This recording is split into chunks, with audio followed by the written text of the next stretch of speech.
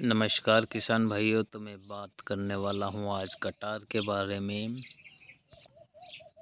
इसमें कौन सा इंसेक्टिसाइड रहने वाला है और ये क्या काम करेगा और इसकी डोज बताने वाला हूँ। तो देखते रहिए अंत तक और।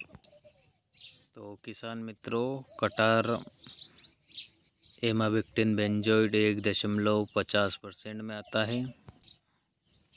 यह एक पावरफुल इंसेक्टिसाइड है, जो कि तना छेदक फल छेदक को पूरी तरह नियंत्रण करता है।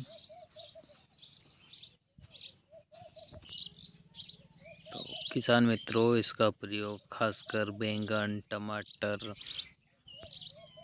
तथा जितने भी फ़सल है, जिसमें फल छेदक कीड़े लगते हैं, उसमें किया जाता है और पूरी तरह से उन कीड़ों को नष्ट कर फ़सल को सुरक्षा प्रदान करता है।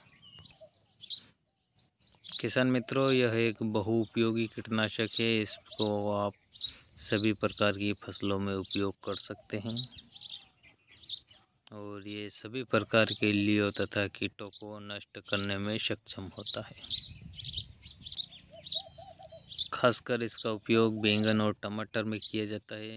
बैंगन में और टमाटर में फल छेदक की समस्या बहुत ही ज़्यादा देखने को मिलती है और प्रॉपर तरीके से कंट्रोल कर देता है बैंगन और टमाटर में फल छेदक को।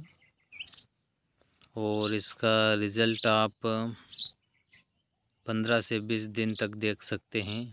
पंद्रह से बीस दिन तक आप इसका रिज़ल्ट अच्छा दिखने को मिलता है।